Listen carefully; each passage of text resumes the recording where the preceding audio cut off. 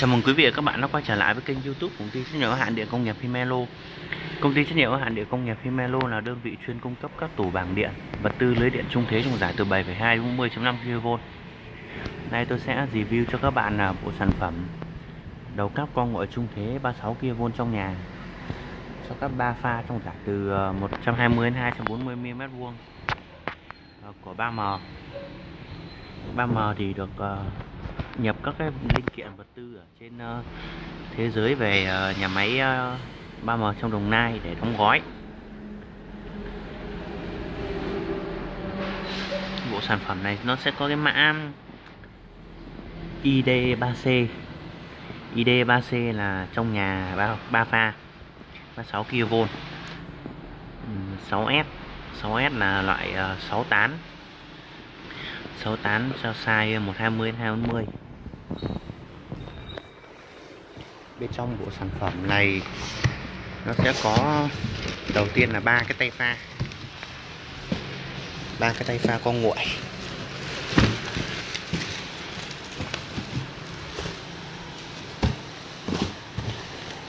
Ba cái tay pha này uh, size L. Size L. L6S 68 6 68 bên trong có cái bên trong cái tay pha này nó có kèm với gói mỡ nữa.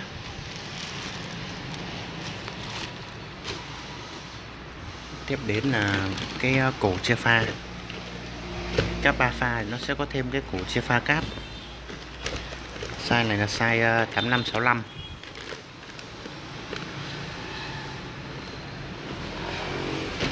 đi kèm với cái, cái cổ chế pha này nó sẽ có cái um, lưới nhựa. Lưới nhựa mẹ ống uh, ống cao su luồn cáp. Rồi, kèm mẹ một cái đai cất to để giữ cố định ba cái pha cát. bên trong cái gói này nó còn có cái um, cái này là cái uh, băng uh, silicon để làm kín cái uh, đầu cốt ba cái um, ba cái đai con nhỏ để ờ, cố định cái ờ, sợi tiếp địa.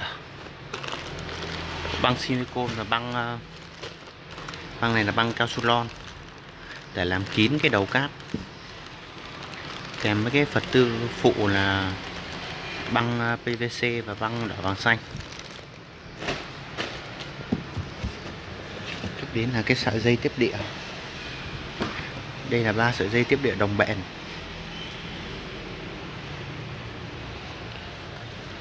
cuối cùng là gói chùi cáp. Trong cái hộp này có ba cái khăn ờ, chùi cáp và cái ờ, giấy ráp kèm với cái bộ sản phẩm này sẽ có cả hướng dẫn lắp đặt. Lắp đặt và packing list các kinh list của cái bộ đầu cáp này kèm với cái hướng dẫn lắp đặt này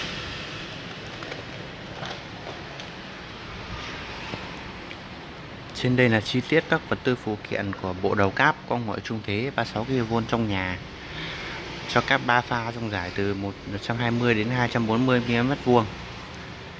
Ờ, cảm ơn quý vị đã xem video của chúng tôi. Nếu thấy hay thì hãy cho chúng tôi một like và một subscribe kênh, ấn chuông thông báo kênh để nhận những cái ờ, video mới nhất của chúng tôi. Xin chào và hẹn gặp lại quý vị và các bạn trong những video tiếp theo.